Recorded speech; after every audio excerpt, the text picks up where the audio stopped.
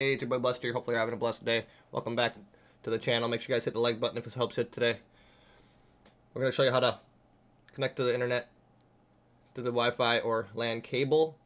So to want to scroll all the way to the left, go down to set, go to settings, go all the way down to the bottom. It's going to say network settings. You want to click on that. And you're going to get a bunch of internet settings. Make sure you go to internet connection settings. I know there's a lot that can make you confused but you want to go to internet connection settings click on that. And then for this section we're going to be talking about how to use your Wi-Fi or your modem to connect to the internet. So we're going to want to go down to easy and click on that.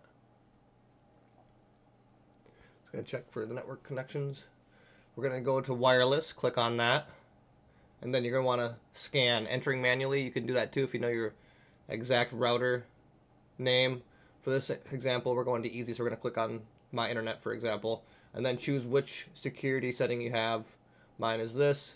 You're going to want to put in your your code there and then click enter. And then here you're going to want to test all your internet connection settings. Make sure you guys comment down below what games are you're looking forward to playing here in 2025 in terms of being online or just in any games in general on the PS3. Let me know down below in the comments. And now I'm going to be showing you how to use a LAN cable. You're going to want to plug in your LAN cable to the back of your PlayStation 3. And then once you go test uh, connect to an internet, it's going to be super easy. It's going to automatically just find your LAN cable for you. And it's going to already start doing the process of checking your connections, all that good stuff. It's going to show you all your info. Super simple, super easy.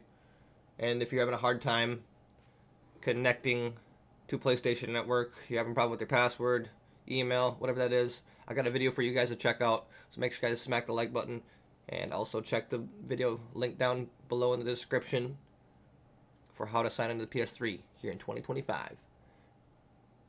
Thank you guys for watching. Appreciate you guys. Subscribe. And we'll see you in the next video.